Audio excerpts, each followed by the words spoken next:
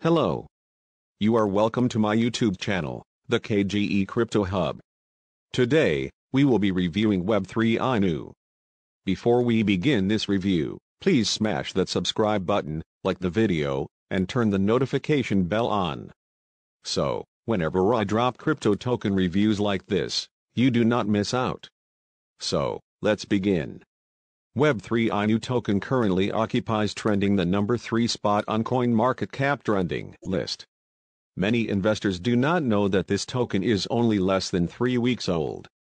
Within those weeks, the token has pumped 500%. Because of some of these reasons, investors will be looking to invest in the token. This is why I have taken it upon myself to review Web3 INU token. This Web3 INU review is for those looking to invest in the token. Also for those who are just curious about Web3 INU, and for those who perhaps have already invested in the project. Make sure you get to the end of this review to find out whether it is indeed a legit or scam project. I promise to make the complicated crypto explanation simple and clear for you to understand. Before we get into reviewing Web3 INU, you have to know that I'm not a banker or a financial expert. I will not be held responsible for your financial decision. This article is just a guide and nothing more. With that said and understood, let us define what Web3 INU is. According to CoinMarketCap, Web3 INU is a rent-to-earn token concept based on real-world data interacting in two different layers. On-chain and off-chain.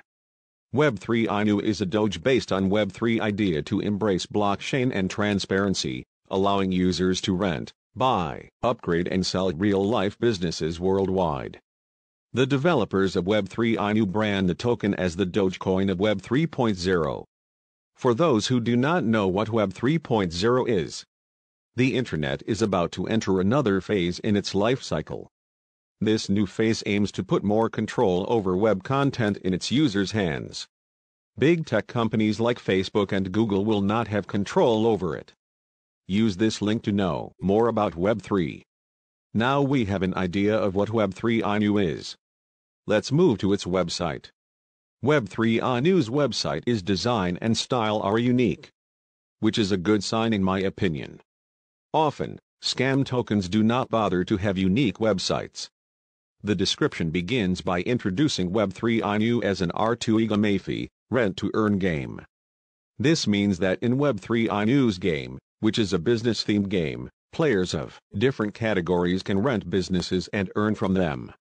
A table that compares and differentiates Web3 INU and other similar GameFi tokens is made available on the website. The table tells me the idea behind Web3 INU is unique. This is another green flag for Web3 INU. In the game model section of the website, we learn that the ultimate purpose of the Web3 INU platform is to allow users to rent, buy, upgrade and sell real-life businesses worldwide. Web3 INU white paper is a well-designed downloadable PDF that begins with a disclaimer.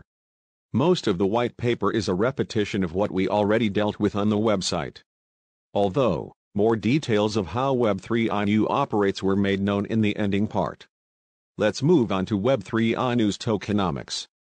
55% total token burn at listing on Pancake Swap. There is a 1% tax for all transactions.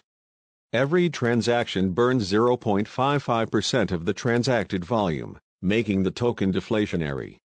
This ensures that the Web3 INU token becomes more valuable over time.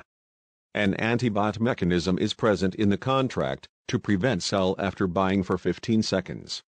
A 1% reflection is distributed to every holder of Web3 INU as a form of reward for holding. Again, this is a unique tokenomics.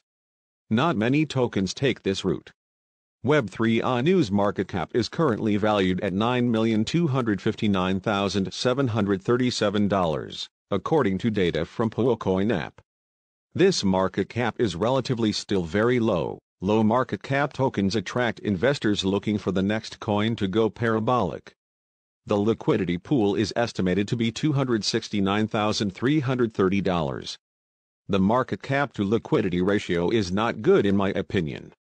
It is important to note that Web3 INU token, built on BSC, coincidentally shares the same contract with an Ethereum token named Metaverse. Token Sniffer only recognizes the Metaverse contract code.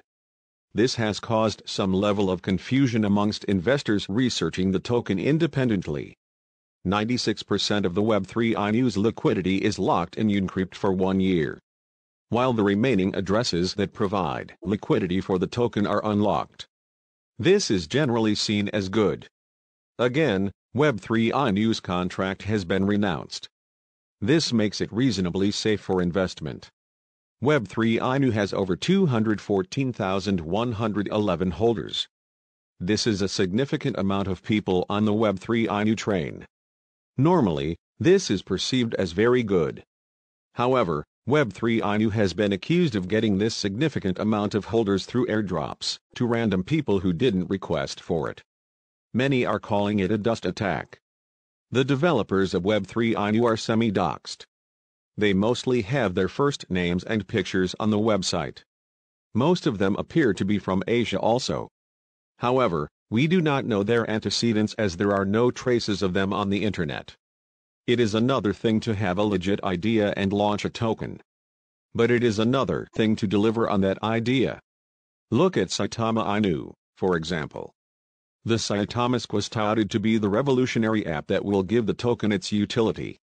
But the app, upon launch, has failed and crashed. Leaving investors and the Saitama Inu community disappointed and doubtful. Moving on to what early investors think of the token. There seems to be a high percentage of people who think the token is a scam because of the coincidence of it having Meta's contract address. And an equally high number who think it will moon. On Reddit, Redditors are complaining about the dust attacks by Web3 INU. What I think is that Web3 INU has many replica tokens that have been used to push dust attacks. Check token sniffer, for example, you'd see about 5 contracts bearing the name Web3 INU. Although, several crypto observers have accused Web3 INU developers of airdropping their tokens to random wallets. Web3 INU haven't come out to deny or accept these accusations. In conclusion, investing in this token is risky. Although the token has many good sides. For example, the contract being renounced is a positive for me.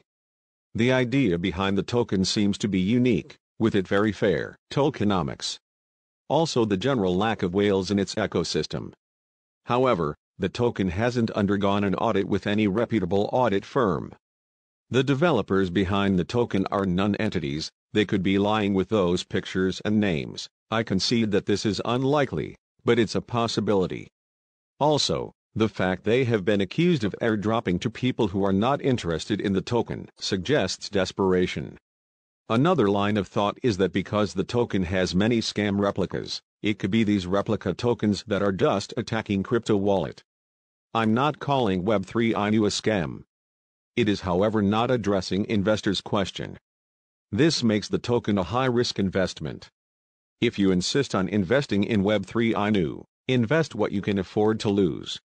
If you got value from this video do me a favor by liking and subscribing to this channel. I just started. And your support is the motivation I need.